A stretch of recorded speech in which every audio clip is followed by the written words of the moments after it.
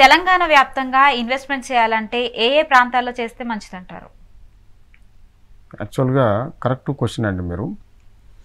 మనకు తెలంగాణ ప్రభుత్వం వచ్చిన తర్వాత మనకు కంపేర్ టు ఆంధ్రాతో తీసుకున్నట్లయితే మన తెలంగాణ అనేది బాగా డిమాండ్ అయింది.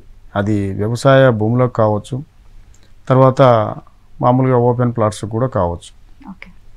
అయితే మొత్తం టోటల్ తెలంగాణలో మనకు హైదరాబాద్ అనేది హైదరాబాద్ అనేది మనం మాట్లాడుకుంటున్నాం. విశ్వనగరం అది టోటల్గా ప్రపంచంలోనే ఒక నాలుగో స్థానంలో గ్రోత్ ఉన్నటువంటి మెట్రోపాలిటన్ నగరాల్లో ఇది ఫోర్త్ ప్లేస్లో ఉన్నది.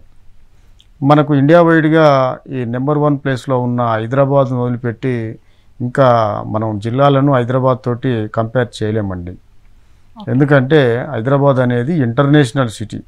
ఇంటర్నేషనల్ స్టాండర్డ్స్ ఉన్న ఈ హైదరాబాదుకు దగ్గర మనకున్న ప్రజెంటు ఇక్కడి నుంచి వెళ్ళిన ఎన్ఆర్ఐలే వాళ్ళ ఇన్వెస్ట్మెంట్ మొత్తం హైదరాబాదులో ఉంటుంది.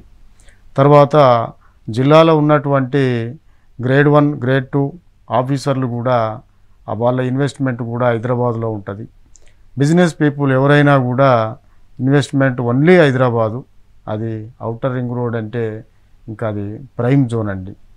రాబోయే రోజుల్లో మనం ఇంతకుముందు మాట్లాడుకున్నట్టు రెండు వేలు ఉన్నది లక్ష రూపాయలు అయినట్టు ఇప్పుడు ఇరవై వేలు ఉన్నది నాలుగు లక్షల రూపాయలు ఉండే విధంగా అవుటర్ రింగ్ రోడ్ ప్రాంతం అనేది డెవలప్ అవుతూ ఉన్నది.